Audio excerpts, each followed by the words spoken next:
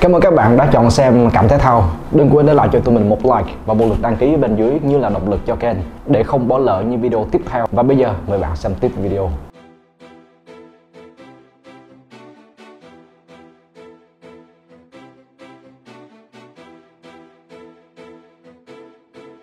Djokovic xác nhận không tham dự Grand Slam cuối cùng trong năm nay trước lễ bốc thăm phần nhánh vì không đủ điều kiện đến Mỹ. Thật buồn, tôi không thể tới New York lần này để dự Mỹ mở rộng. Tôi sẽ giữ thể trạng và tinh thần tích cực để chờ đợi cơ hội khác. Chúc các tay vợt may mắn tại giải lần này. Djokovic sẽ bị trừ 1.200 điểm sau Mỹ mở rộng, khiến cơ hội giữa ATP Finals bị thu hẹp. Chủ nhân 21 Grand Slam hiện chỉ đứng thứ 13 trong cuộc đua giành vé đến Turin với 705 điểm, ít hơn vị trí thứ 8 của Andrei Rublev. Lỡ hai Grand Slam mùa này, cùng việc không thể bảo vệ chức vô địch Roland Garros khiến Djokovic bị trừ tổng cộng 5.200 điểm. Anh cũng đối mặt nguy cơ bỏ lỡ Australia mở rộng đầu năm sau vì án cấm nhập cảnh 3 năm. Tại sự kiện One 160, võ sĩ MMA gốc Việt Thành Lê bước vào trận bảo vệ đài thứ hai kể từ khi lên ngôi tại One Championship.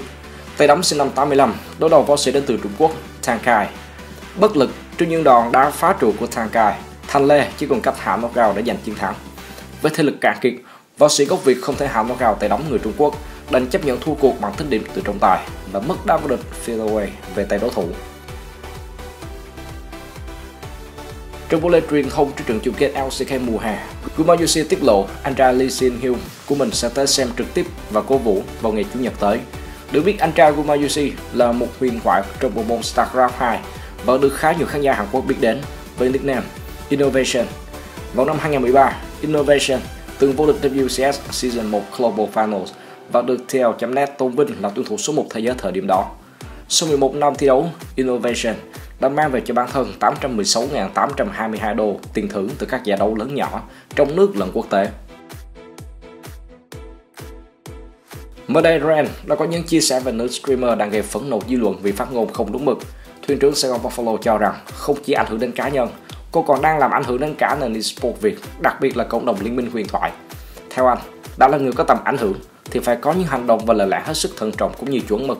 Theo Ren, nữ streamer nên sửa sai khi còn cơ hội, chứ đừng để đến lúc không còn cơ hội mặc sửa như Zeros.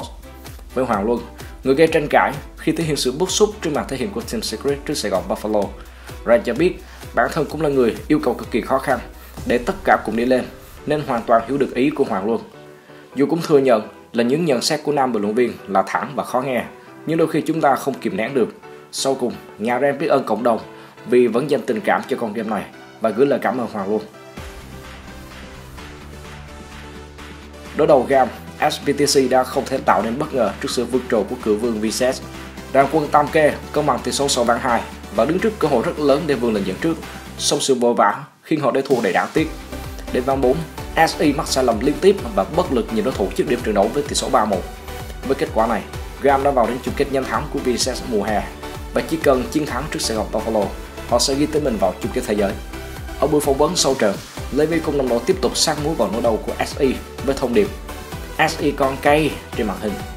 Trong khi đó, SE vẫn còn cơ hội từ nhánh dưới.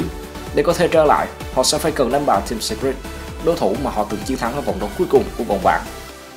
Tại LPL, trong lần thứ ba chạm trán với một loạt BO5 chính thức, JDG đã thắng ngược Top Esports 3-2, dù đã bị đối thủ dẫn trước 0-2.